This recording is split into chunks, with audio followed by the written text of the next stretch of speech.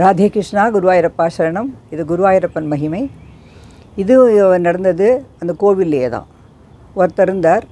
அவர் நூறு படி அரிசியில் சாதம் வடித்து குருவாயூரப்பனுக்கு நேவேத்தியம் பண்ணுறதா வேண்டிட்டார். அவருக்கு ஏதோ அவருடைய வாழ்க்கையில் ஏதோ சோதனை இருந்து அதுலேருந்து குருவாயூரப்பன் காப்பாற்றினதால அங்கே குருவாயூரப்பன் கோவிலில் எப்படியும் வழக்கம். நம்ம எல்லாரும் போய் அந்த இருக்கிற சமையல் ரூமில் சமைக்க முடியாதான். இப்போ மேல் சாந்திங்கிறவர் கோவிலில் இருக்கிற வந்து சாமி கிட்டே போய் அர்ச்சனை அர்ச்சனையெல்லாம் பண்ணுறவர் அதே மாதிரி கீழ் சாந்தின்னு இருப்பாளாம் ரெண்டு பேர். அவள் தான் அங்கே மெயின் குக்ஸாம் அவள் தான் வந்து சமைக்கணுமா. ஸோ அவள் என்ன ஆச்சா அந்த மாதிரி சமயத்தில் இவர் போய் சொன்னாராம் இந்த மாதிரி நான் வந்து அரிசியெல்லாம் கொண்டு வந்து தரேன் நீங்கள் தான் சமைச்சு போடணும் நான் இந்த மாதிரி வேண்டின்னு இருக்கேன். நூறு படி அரிசின்னொடனே அவர் சொன்னால் ஒரு கீழ் சாந்தி லீவு ஏன்னா அவருக்கு ரொம்ப சிக்காக இருக்கார் அவர் ஜுரமாக இருக்கார். உடம்பு சரியில்லை. ஒருத்தர் மட்டும்தான் இருக்கேன் என்னால் ஒத்தனால் பண்ணுறது கஷ்டமாச்சே அப்படின்னு அது இன்னொரு கீழ் சாந்திங்கிற குக் சொன்னாராம்.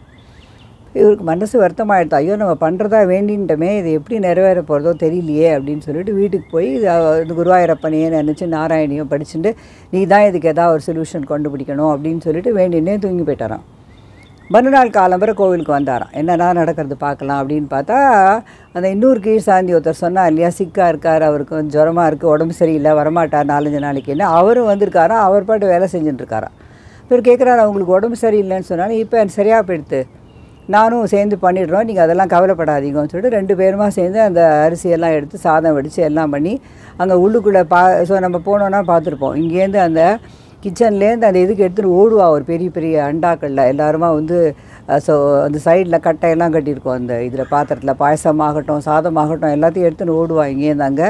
சன்னதிக்கு அப்போ வந்து அந்த இதெல்லாம் மூடிடுவா. அந்த திரையெல்லாம் மூடிடுவா. நம்ம வந்து அந்த இடத்துல அதை வெயிட் பண்ணணும். அப்போ இதுக்கு தரிசனத்துக்கு போனோன்னா அந்த மாதிரி சமையல்லாம் பண்ணி எடுத்துன்னு போய் இவர் சொன்னால் எனக்கு ரொம்ப இதாக டயர்டாக இருக்குது அதை நான் போய் வந்து குளத்துல போய் குளிச்சுட்டு வரேன். அப்படின்னு சொல்லிட்டு அந்த இன்னொரு கீழ் சாந்தி வந்தார். அவர் வந்து சரின்னு குளத்துக்கு போனாராம். போனவர் வரவே இல்லையாம்.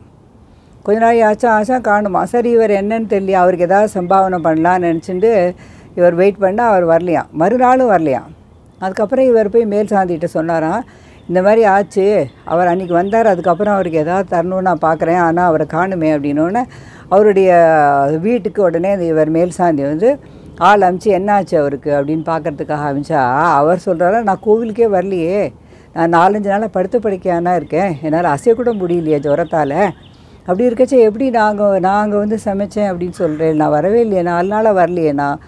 அப்போ தான் எல்லாருக்கும் ஆச்சரியமாக இருந்துதான் அவர் வரவே இல்லைன்னா இப்போ யார் அந்த இன்னொரு கீழ் சாந்தியை வந்து சமைச்சது அப்படின்னு. உடனே யார் ஒருத்தர் வந்து வேண்டின்னு இருந்தாரோ அவருக்கு அப்போ தான் உரைச்சி தான் நம்ம குருவாயிரப்பா நீயே சரணம் நீ தான் என்னை காப்பாற்றணும் நீ தான் இதுக்கு ஏதாவது திருவு சொல்லணும் அப்படின்னு வேண்டின்றதால அந்த குருவாயிரப்பனே அங்கே குக்கா வந்து கீழ் சாந்தியாக வந்து நம்மளுக்காக சாதத்தை சமைச்சு எடுத்துன்னு போயிருக்கார். அப்படிங்கிறது அதுக்கப்புறமா அதில் தான் காணா போயிட்டார். அப்படிங்கிறது தெரிஞ்சுதான். குருவாயிரப்பா அப்படின்னு கண்ணீர் மல்க சந்நிதியிலே விழுந்தாராம். அப்படியே நெடுஞ்சான் கிடையா. எல்லாருக்கும் அந்த இதை எடுத்து சொன்னாராம். இந்த மாதிரி நடந்ததுன்னு எல்லாரும் குருவாயிரப்பா கோவிந்தா கிருஷ்ணான்னு சன்னதியில் பெருசாக குரல் கொடுத்தாலாம். இதுலேருந்து நம்மளுக்கு அதே தான் தெரியறது. யார் ஒரு குருவாயூரப்பனை நம்புகிறார்களோ அவர்களுக்கு எல்லா விதமான சௌக்கியங்களும் வாழ்க்கையில் உண்டாகும். அவர் என்றைக்குமே கைவிட மாட்டார். இதை நாம் திடமாக நம்புவோம் நாராயணியம் படிப்போம். நம்மளுக்கு எப்போ முடியுமோ அப்போ நம்ம குருவாயூரப்பன் கோவிலுக்கும் போகலாம்.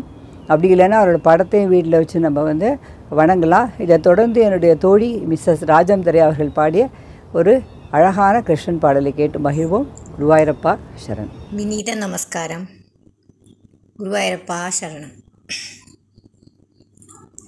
पाहि मुकुन्द परमानन्द पापनिहन्द श्रीकान्द मानसवृन्दावनील्मरन्द माधुरि चोरियु गोविन्द माधुरि चोरियु गोविन्द പാഹി മുകുന്ദ പരമാനന്ദ പാപനിഹന്ദ ശ്രീകാന്ത മാനസവൃന്ദാവനിയിൽ മരന്ത മാധുരി ചൊരിയൂ ഗോവിന്ദ മാധുരി ചൊരിയൂ ഗോവിന്ദ.